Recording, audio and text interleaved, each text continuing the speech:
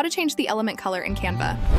But before we begin, if you still haven't installed Canva yet, click on the link provided in the description below to watch our video on how to install Canva. First, open Canva and navigate to the design you want to edit.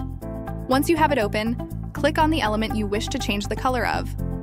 To access the color options, you'll need to locate the toolbar at the top of your Canva editor. Look for the color palette icon and click on it. Once you click on the color palette icon, you will be presented with a variety of color options. You can choose from the standard colors, use the color wheel to pick a specific hue, or enter the RGB or hexadecimal values.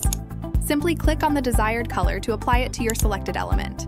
After selecting your desired color, click outside the color options panel, and you will see that the element's color has been changed accordingly. You can repeat this process for any other elements you wish to modify in your design. Once you're satisfied with the changes, make sure to save your design by clicking on the Save button. Canva automatically saves your progress, but it's always good practice to save manually, especially before making any significant modifications.